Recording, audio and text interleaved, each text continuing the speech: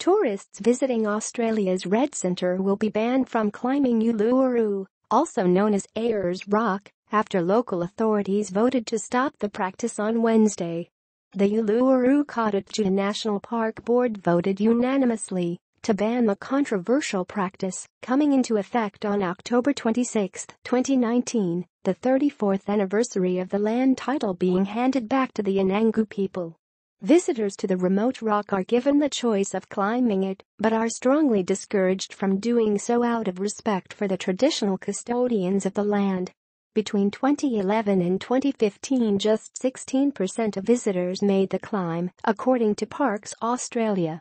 The 12-member board, which comprises eight Indigenous people representing the Anangu people, the Director of National Parks, and representatives from various government departments, said it made the decision after consulting with the traditional custodians of the sacred site. Not a theme park.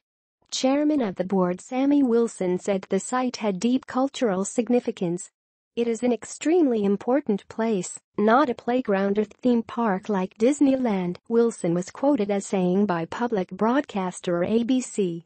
The government needs to respect what we are saying about our culture in the same way it expects us to abide by its laws.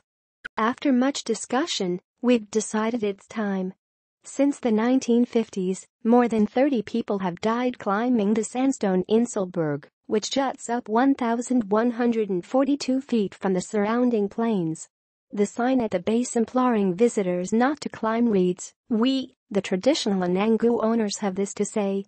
Uluru is sacred in our culture, a place of great knowledge. Under our traditional law, climbing is not permitted. This is our home.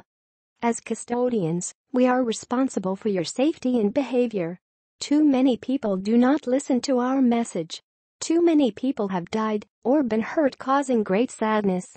We worry about you and we worry about your family. Please don't climb.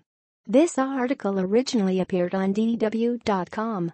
Its content was created separately to USA Today.